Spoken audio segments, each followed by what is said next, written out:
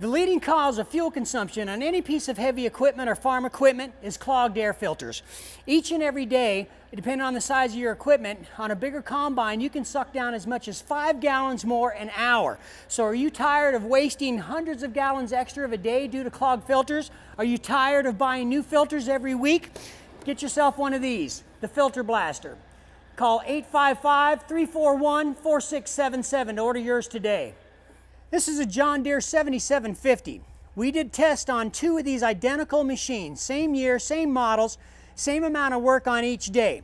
This baby pumps out 600 plus horsepower.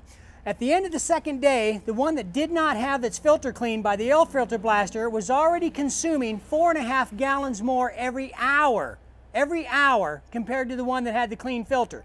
At the start of the third day, it was an even five gallons an hour more. At the end of a 12 hour shift, that's almost 60 gallons more that this one consumed with a clogged filter compared to a clean filter. The total cost $240 extra for a day to run this machine with a clogged filter. So if you got $240 a day savings plus the uh, savings of a new filter, it paid for itself the very first time you used it. Get a filter blaster.